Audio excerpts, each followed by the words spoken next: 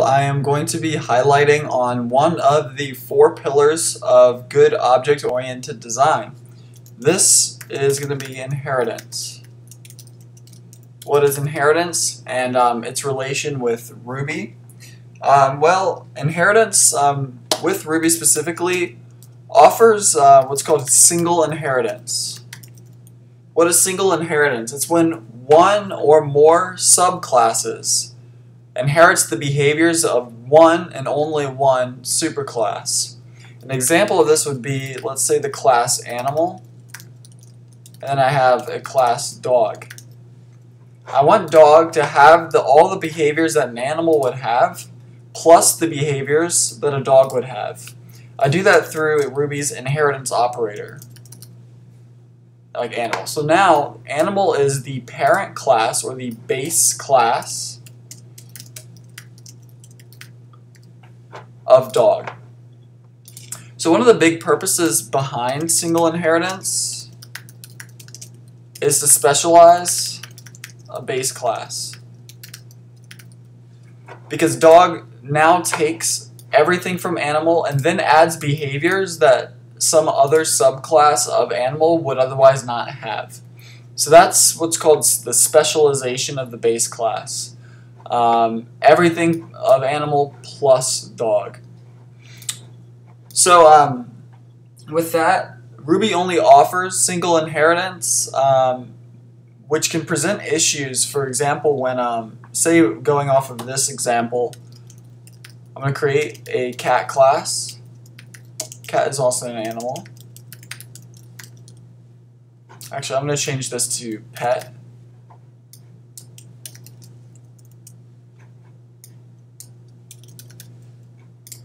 I'm also going to have a pet fish. Fish is a pet. Now I want the um, behaviors for um, the dog, the cat, and the fish uh, to be defined as such. I want the dog to be able to swim.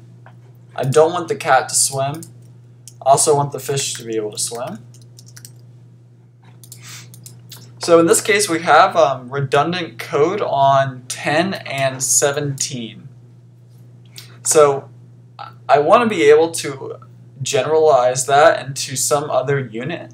Um, however, if I were to put this in the pet class, for example, which both the dog and the fish inherit from, um, the cat class is also going to inherit it, and I don't want that.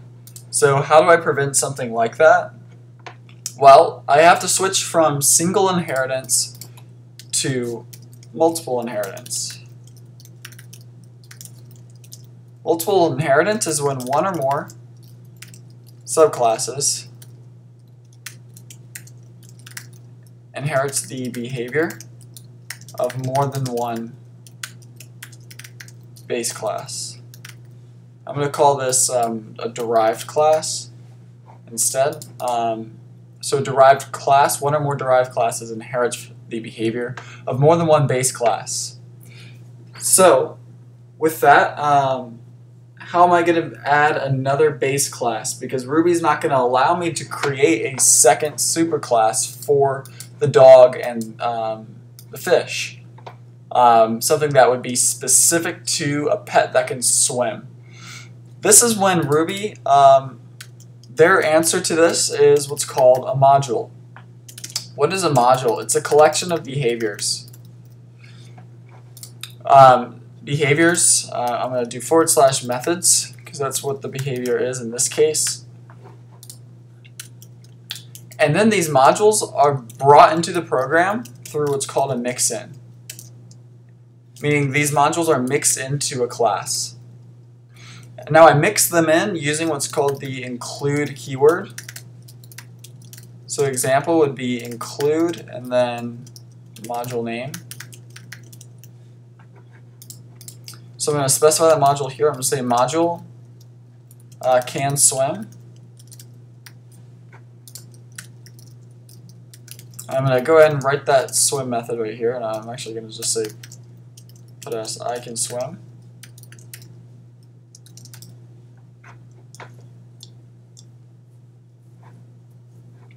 Now I don't need this. And the way that I include it, by doing this include keyword and then the can swim module. I'm going to say okay. Include can swim.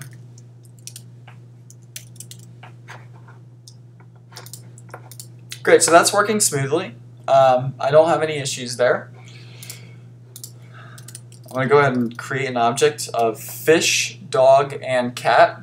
And I'm going to call that method. I'm actually going to make all pets are going to be able to, um, let's see, what it would be a behavior common to a dog, cat, and a fish. I'm going to say move. So they can move. Let's see, what else I can move. Just for the purposes of instruction. Um, Alright, so then I'm going to say dog is going to equal dog.new. I'm going to say cat is going to equal cat.new. So we're instantializing objects from the dog, cat, and fish.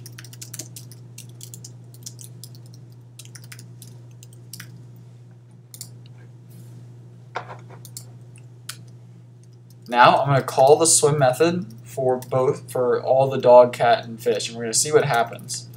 Uh, I'm to say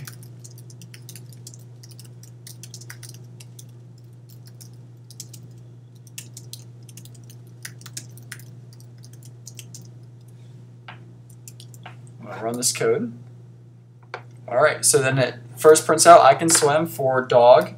Then it gives me a no method error for cat, so that means cat, we now know there's no way for it to be able to um, call that swim method. It's on, it's exclusively for the fish. And if I get rid for fish and dog, if I get rid of cat and I run this code, it's going to do I can swim for both dog and fish. You can include, and this is the big benefit with modules as opposed to the inheritance that Ruby offers. You can do as many modules as you want. Um, so for example, if I want the, well the dog and the cat can walk, um, a fish can't walk. Um, so I'm going to say module walkable. Let's say walk. And I print I can walk. Once I've done that, I'm going to include that down here.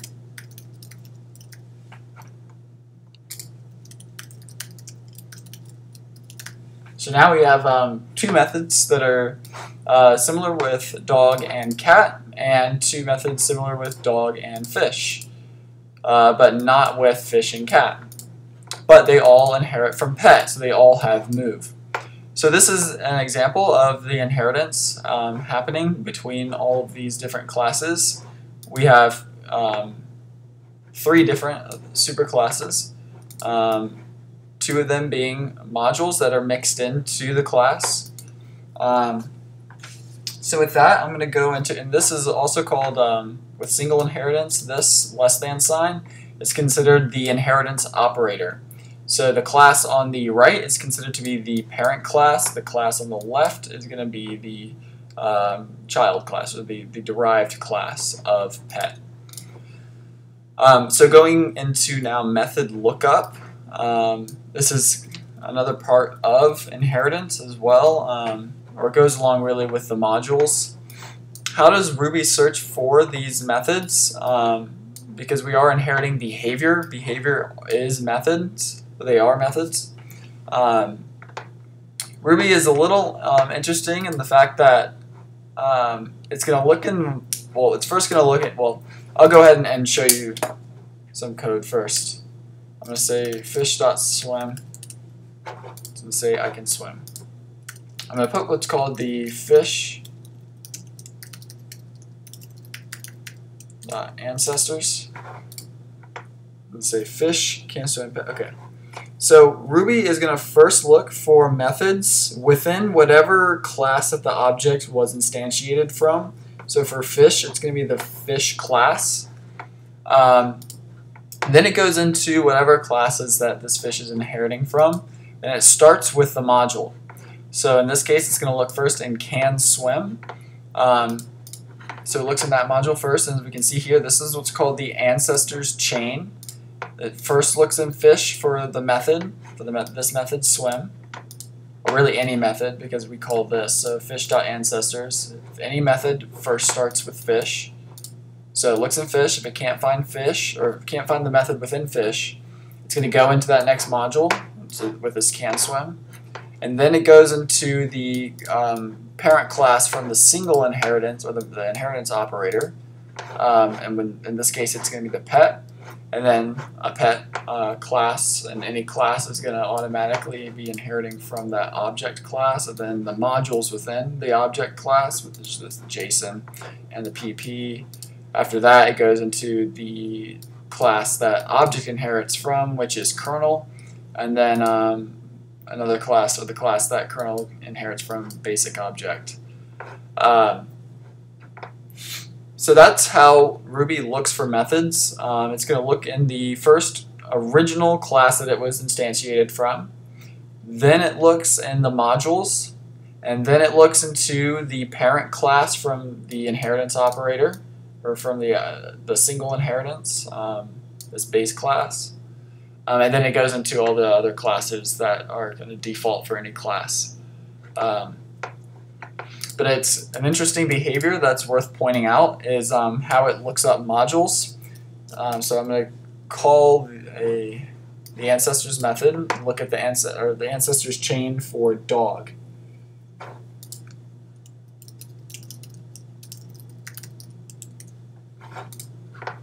Okay, so same thing. It's going to look in the first class that it, the class that it was instantiated from, dog. Then it's going to start on the bottommost module, and then it's going to work up. So it's going to start with walkable, and then if it doesn't find the method in walkable, it's going to move into can swim. So it doesn't go from the top down as if you were executing code. And that's something that's definitely worth pointing out and can trip someone up for sure, especially if there's a um, method of the same name within can swim and walkable. You're going to be calling the method that's within walkable first, uh, and that's going to be the one that gets executed. It would override this, whatever method might be in can swim, it would override any method that might be in pet if it finds it in the walkable first. So that's worth pointing out. Um, with modules, it's not going to start from the top and work down. It's going to work from the bottom and work up. And then um, once you go from walkable, you go up to can swim. Once you go from can swim, it goes to pet, so on and so forth. Um, and this is default for any any class. So this sums up my um, summary of inheritance, one of the pillars of object-oriented programming. If you enjoyed this course, please like and subscribe. I will be continuing to post videos on just software engineering topics in general. Um, I'll be progressively going into more advanced topics if you would like to follow. Um, so I hope you enjoyed this video. You all have a good one.